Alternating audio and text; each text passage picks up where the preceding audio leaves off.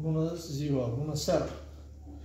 Pentru că o parte dintre cei care urmăriți filmele mele nu ați înțeles uh, sau ați vrut să vă demonstrez și cum bec, zic nu ați înțeles principiul, probabil, uh, o să vă refac filmul în care o să aprind și un bec la uh, transformatorul care iese din amplificatorul audio, unde vă spuneam că cu un semnal slăbuț băgat la intrare în amplificator, din baterie se poate scoate o tensiune de 220 de volți,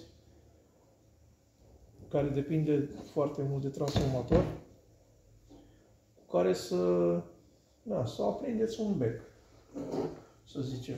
Pe măsura amplificatorului, puterea la ieșire, deci amplificatorul și transformatorul dă puterea la ieșire. Bateria nu mai punem în, în calcul, că mă gândesc că pentru câteva becuri ar putea să facă față oricum. Și pentru asta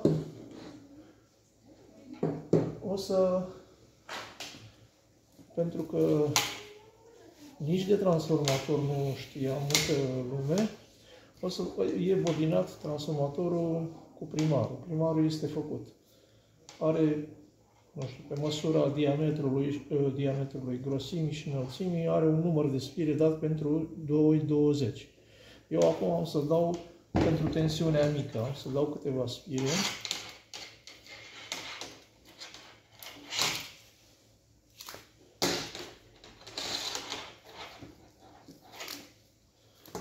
Deci nu e nicio mare filozofie să bobinez un transformator.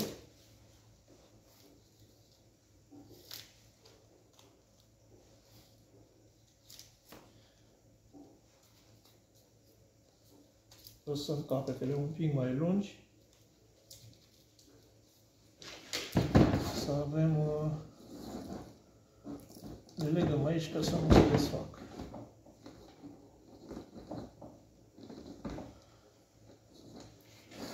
Capetele le vom lega în locul difuzorului. Deci asta este șire pentru difuzor și vom lega primarul transformatorului, că acum devine primar, nu mai e... Ăsta va fi primar, pentru că în el intră prima dată. Și partea asta la altă de 220 va rămâne așa. Acum, băgăm semnalul de alimentăm întâi amplificatorul, minusul cu negru aici, plusul aici și s-a aprins LED-ul.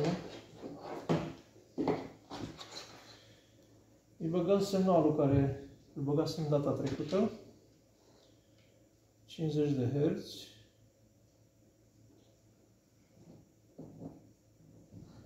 Să-l și auzim în difuzor.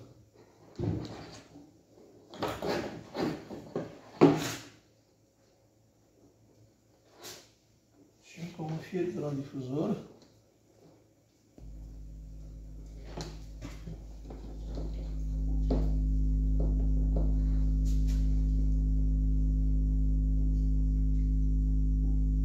Deci se aude se aude slăbut pentru că e și transformatorul în paralel cu difuzorul. Da? Nu e o... Legăm și voltmetru pe alternativ. Pe 20, așa. Legăm să vedem tensiunea de la ieșire. Nu se recomandă legarea și transformator și și transformatorul și uh, difuzorul pe amplificator se va încălzi și se va distruge finalul. Dar diferența nu e mare. 96, 97. Hai să lăsăm ca să și auzim. Deci avem 50 de Hz, 51 de Hz. O să-i punem bec la ieșire. Deci tensiunea la ieșire e de 90 de volți. Cu 90 de volți merge becul. Deci se aprinde becul cu 90 de volți. Dacă schimbăm și frecvența, vom obține și altă tensiune. Ia să vedem.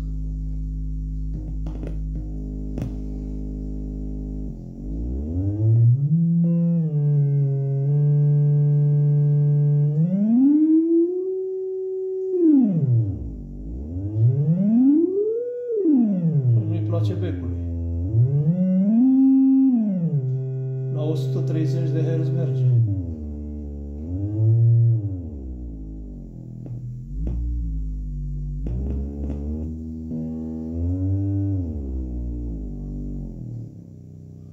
de la 30 de Hz la 30 de Hz se vede filează. La 50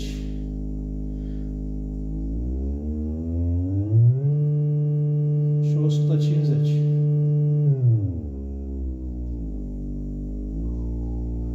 Frecvența de 50 de Hz o cunoaște toată lumea de la băriche, de la amplificatoarele audio. Deci tensiunea este dată aici, e direct proporțională cu intrare. La intrare avem o tensiune mică. O să măsurăm și pe aia să vedeți ce tensiune avem la intrare. La intrare transformator.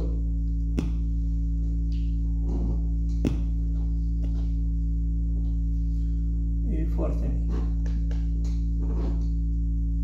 Un volt. Deci intră un volt și iese 100.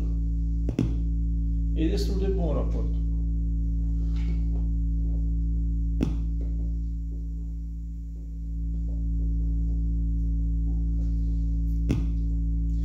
Mai am o altă variantă în care nu avem semnal nu avem semnal sinusoidal de la telefon sau de la un alt generator de semnal să vedeți și cu motorul. Că vă spuneam data trecută de motor. Bag aici un amplificator. Un uh,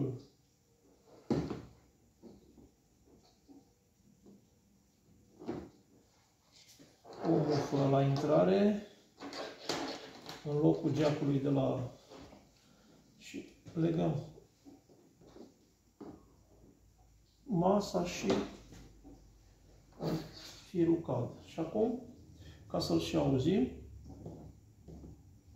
Dau amplificatorul la maxim.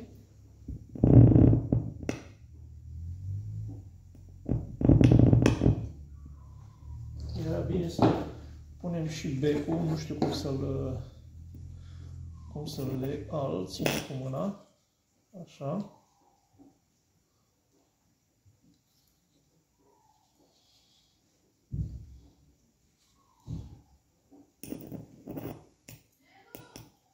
Așa.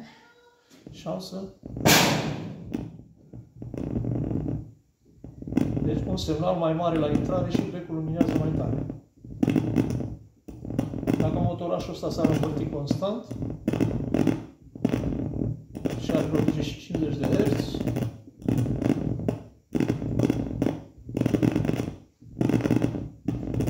Sper că s-a înțeles. și ne revedem la alt filmuleț.